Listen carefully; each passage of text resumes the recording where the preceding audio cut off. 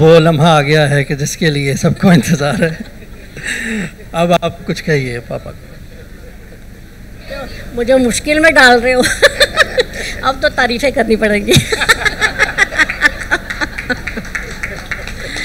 बहरहाल, सबसे पहले तो मैं अल्लाह का बहुत शुक्र अदा करती हूँ कि अल्लाह ने हमें दोनों को बहुत अच्छे बच्चे दिए हैं। बहुत माँ बाप के साथ बहुत प्यार करते हैं। और वक्ता फ़वक्ता प्यार का इजहार जो है वो करते रहते हैं। बाकी ये है कि हमारी शादी को 40 साल से ज़्यादा टाइम हो गया मैं जब पीछे मुड़ के देखती हूँ तो अमजद साहब ने हमेशा यही कोशिश की है कि जितने भी उनके वसाइल रहे हैं शुरू से उसके अंदर वो मैक्सिमम जो है ना, अपनी बीवी बच्चों को जो है ना, वो टाइम दें, उनके लिए हर तरह की आसाइश, आराम का वो ख्याल रखें। अपने लिए, अपनी उन्होंने नफ़ी रखी है, हमेशा।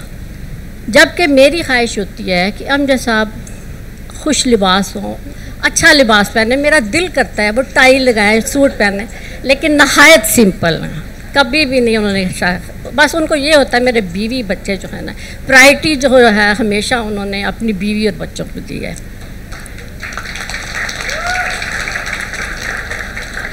बाकी ये है कि लोग मुझे कहते हैं, अक्सर जो है मिलते हैं, कि जी आपके तो बहुत, इतनी अच्छी शायरी करते हैं, इतना अच्छा लिखते हैं, मोहब्बत की नज़में लिखी हैं तो यकीनन आपके लिए लिखी होंगी।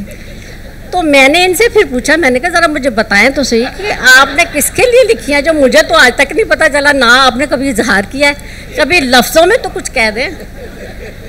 तो इस बात पे हमेशा तकरार रहती है और कहते हैं कि तुम्हें नहीं पता चला अभी तक? मैंने कहा, नहीं, बाज़ अवत ऐसा होता है कि दिल करता है कि पार्टनर जो है ना, वो लफ्ज़ों में भी इजहार करे।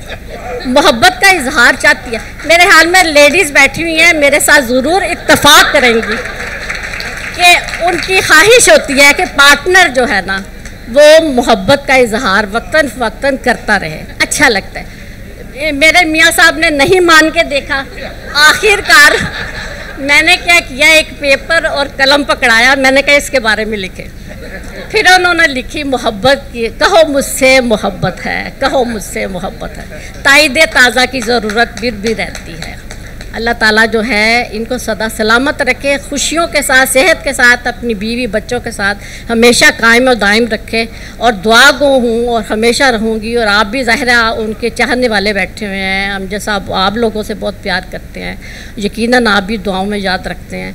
और मैं कहती हूँ, मैं बहुत खुश नसीब हूँ, अल्लाह ताला ने मुझे ये जो है, मुकाम दिया है। इन्हीं की वजह से है, जो कुछ भी आज मैं जो हूँ। बहुत शुक्रिया जी, आपका बहुत बेहतर आइए। मेरे साथ आए। आए हैं?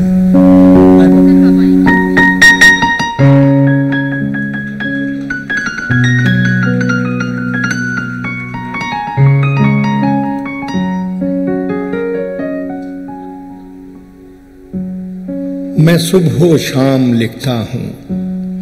मैं सुबह शाम लिखता हूँ।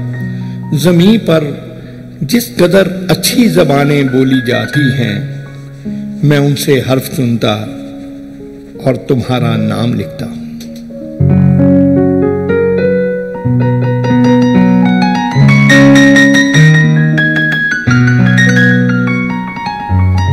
तुम जिस ख्वाब में आँखें खोलो, उसका रूप अमर। तुम जिस ख्वाब में आँखें खोलो, उसका रूप अमर। तुम जिस रंग का कपड़ा पहनो वो मौसम का रंग। तुम जिस फूल को हंसकर देखो, कभी न वो मुरझाए। तुम जिस फूल को हंसकर देखो, कभी न वो मुरझाए। तुम जिस हर्फ पे उंगली रख दो, वो रोशन हो जाए। वो सबसे मुश्किल सारी ज़िंदगी अभी आप दो सहबाब ने मेरे लिखने के बारे में शायरी के बारे में बहुत मोहब्बत वाली बहुत अच्छी अच्छी बातें की। आ, लेकिन आप यकीन करें कि मेरी वाकई कुछ समझ में नहीं आ रहा कि मैं क्या बात करूँ और कैसे बात करूँ। सवाए इसके कि सबसे पहले अपनी उस रब करीम का बहुत शुक्र है कि जिसने आ, इन पचहत्तर बरसों में अपनी रहमतें सदा मुझ पर रखी। और फिर उसके बंदों का शुक्रिया है जिन्होंने मेरी ज़िंदगी में मोहब्बतें इतनी बखेरी, इतनी आसानियाँ पैदा की। आप सब लोग जो इस वक्त मेरे इर्द गिर्द बैठे हैं, आप उन्हीं लोगों के तर्जुमान हैं और वही लोग हैं जिन्होंने ज़िंदगी में, ज़िंदगी की मुख्तलिफ़ मंजिलों में मुझे हौसला दिया। तो अल्लाह का शुक्र और अब सबका बहुत बहुत शुक्रिया।